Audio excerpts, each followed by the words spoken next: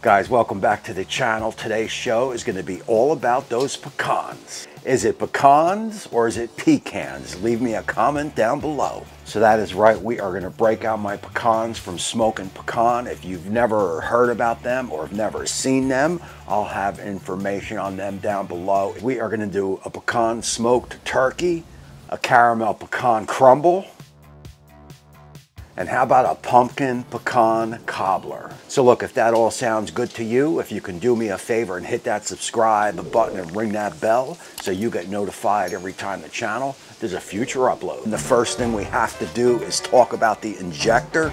You're gonna need an injector for this one as we are gonna be injecting this bird with some Kerrygold butter. So if you've never injected a bird with anything, the, uh, the first thing to do is to pick a good injector, get a thin needle, and you wanna go in and out of the breast or in and out of anything that you are injecting, and you wanna slowly pull out as you are injecting in and be careful not to over inject. I like to do about four spots in each side of the breast and that should give me a well injected bird. So once you got that bird injected, it is time to talk about rubs. I am going to go with a steak butter rub. I feel those flavors are going to mesh well with what I am trying to accomplish. You can pick any type of poultry rub that you like and you want to get plenty on that turkey, both sides of the breast, do underneath, and do not forget to get some rub inside that cavity. Alrighty guys, you got the bird injected, you've got the rub on it. The next step to do is to get on over to that pit and fire it up.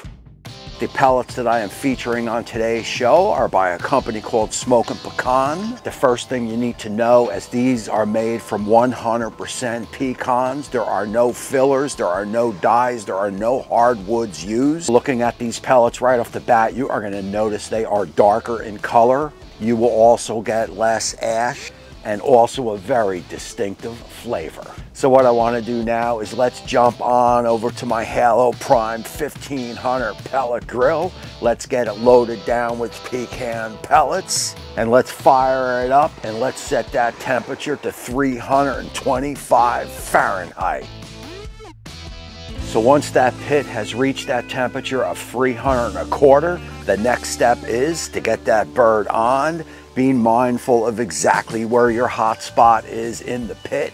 My fire pot sits right in the center, so I will push off my bird to the side of that and also my bird will be flanked down with two chef temp thermo gauges, one inside the breast and one inside the pit. So during hours two, three, and four, I like to go in and check my turkey. You want to make sure it is cooking evenly across the surface. You do not want no hot spots in the pit where one part of the bird is cooking a little bit more faster than the other. So a rotation on those hours certainly helps. I will take this bird right up to that perfect temperature of 165, thickest part of the breast. So our bird has reached that that perfect temperature of 165 Fahrenheit. Let's go in, let's get it off, let's get it on the board where we will let it rest for about 15, 20 minutes. We will take off one carving, one slice, just so you guys can have a quick little look. And then it is time to turn our attention because I've got a pumpkin pecan cobbler that I've got to show you how to make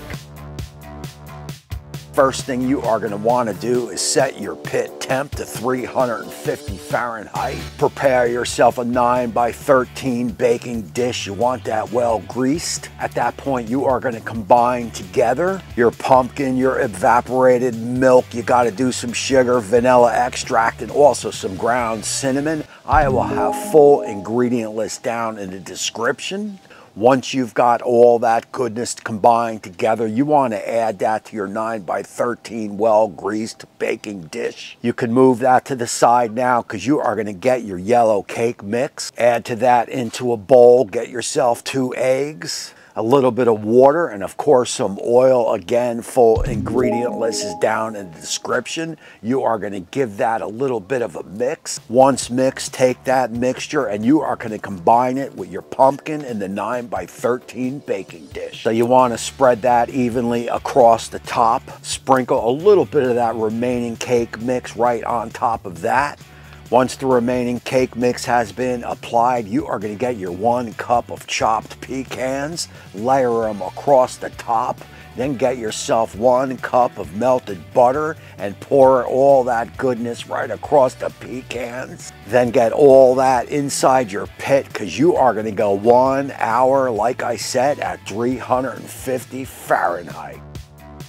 So look, we will allow that pumpkin to bake off for that one hour. It is now time to turn our attention to that caramel pecan crumble. So look, the first step, you are gonna wanna set your oven temp to 350 Fahrenheit. Get yourself three and a half cups of pecans. You are gonna do a loose chop on them layer them out on a tray, get them in your oven and bake them off for seven minutes. As those are baking off, it is time to prepare the crust. Get your flour, get your powdered sugar, get 3 4 cups of ice cold butter. You're gonna wanna cube that up add all that goodness together. If you've got a food processor, that makes it a little bit more easy. If not, just press them, press them, and press them. You are gonna combine all that goodness into a crumble or a coarse meal. At that point, I am going to use a cast iron skillet and I am going to layer the bottom of that cast iron skillet, including all sides of the walls. From there, what I am going to do is I am going to get my cast iron skillet, I am going to get it in the pit because we want to bake that off for about 20 minutes or until the sides start to brown. And now what I've been waiting for to do all day, it is time to make that caramel sauce. Combine your brown sugar, your honey, two-third cups of butter, and also three tablespoons of whipping cream. Get all that in a three quart saucepan and bring it up to a light simmer. Once you've allowed that to simmer for about five, six minutes, get those toasted off pecans because you are gonna add that to the caramel mixture. Once you've got all that incorporated, go get that crust that you have baked off because you are gonna add that caramel mixture into your cast iron skillet, get it inside the pit where you are gonna bake it off for 25 to 30 minutes. So once that pumpkin has reached the desired temp, we will get it in the house. We will get it on a warming rack. We will follow that up with the caramel in the house on a warming rack.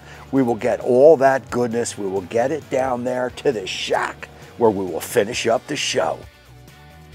First off, I gotta thank Smokin' Pecans for allowing me to cook for them. And if you think you have tasted pecans before, purchasing them at the store, I have AB these pecans to those pecans, and there is definitely a difference. These just taste a lot more fresher than store purchased pecans. So look, what I wanna do here is I gotta turn our attention to the board. I wanna get this stuff while it's hot. We will scoop it all, we will take a look at it all, and then we will come back and talk talk about it. Alrighty, first up, we got to get that pumpkin in there. We got to do all this, obviously, while it's still warm, because we are going to follow this up with some ice cream. And of course, some of that caramel crumble into the uh, into the um, uh, little dish there. And here comes my ice cream. We are going to go with a vanilla pecan ice cream. Oh,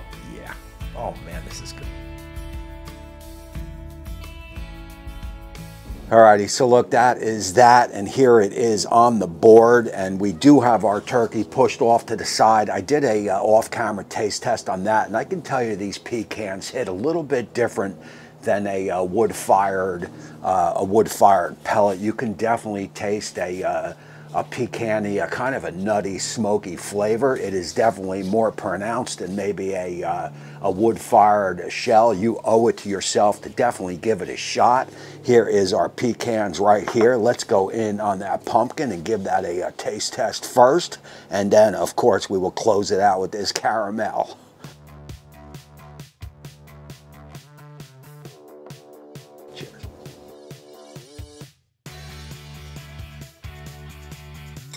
man, that is freaking through the roof, man.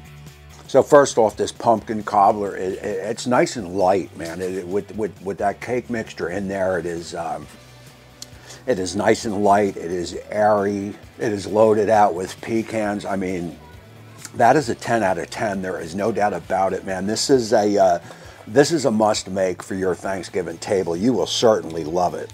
Now, of course, not to be outdone is our caramel.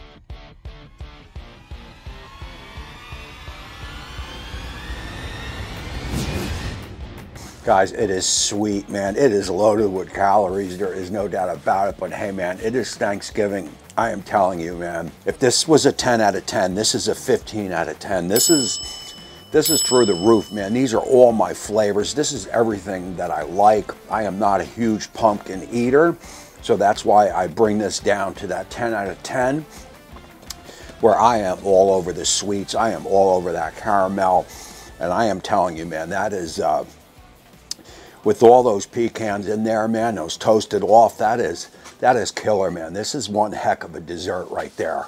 Alrighty guys, so look, that is gonna close out this show. Again, I wanna thank Smokin' Pecan for sending out all these goodies to the channel. I mean, it is gonna up my Thanksgiving, there is no doubt about it. I've got all information down in the description. You got plenty of time. Go down there, go order yourself some pellets, go order yourself some pecans. You will definitely, definitely not regret it. There is no doubt about it, man. And that is going to close out this show. Again, my name is Tommy. I appreciate you all for watching. Have a great Thanksgiving. And until next time, we will see you soon.